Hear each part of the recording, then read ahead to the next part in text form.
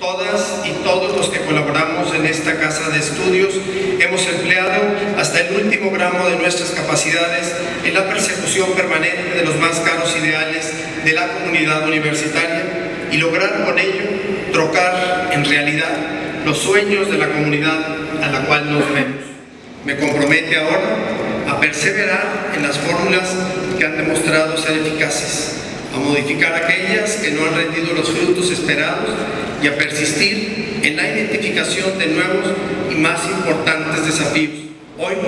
nos ubicamos en el futuro que imaginamos hace tres años, pero el futuro como promesa y reto del porvenir se ha movido también hacia adelante y nos convoca a seguirlo construyendo. Con esta idea, como Faro, iniciamos este viaje hace 36 meses. La Universidad Autónoma de Coahuila no es solamente la casa de estudios más importante de nuestra entidad, es además el proyecto más relevante de la comunidad coahuilense, es el crisol donde se funden los talentos colectivos y se transforman en proyectos y en acciones concretas a favor de las causas que compartimos. Es el espacio privilegiado donde la diversidad se manifiesta como símbolo de riqueza social.